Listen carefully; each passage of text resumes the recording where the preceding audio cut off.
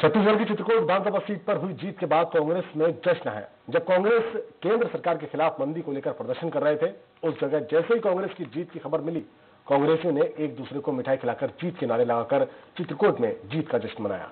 इस जीत के साथ विधानसभा में कांग्रेस विधायकों की संख्या उनहत्तर हो गई है और बस्तर से बीजेपी का सुपड़ा साफ़ हो गया है।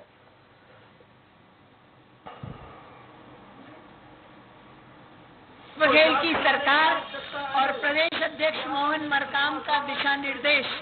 आज ये स्थिति है कि बस्तर भाजपा विहीन हो गया।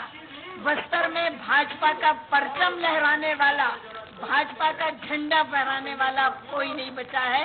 भाजपा का बस्तर विहीन होना भूपेश बघेल जी और मोहन मरकाम जी और कांग्रेस कार्यकर्ताओं की बहुत बड़ी उपलब्धि है।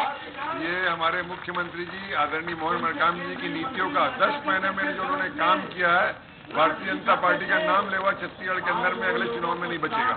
कि जिस तरह से प्रदेश में बीजेपी की हालात थी बस्तर में उनका सुपड़ा साफ़ होना बिल्कुल तय था। बस्तर विकास प्राधिकरण बना करके जो माननीय मुख्यमंत्री जी ने आदिवासियों की ज़मीन वापस लौटाई वहाँ के कार्यकर्ताओं की जीत है रीति नीति की जीत है, जो कांग्रेस सरकार ने विजन वाइज काम किया यह उसकी जीत है और कांग्रेस के कार्यकर्ताओं की जीत है।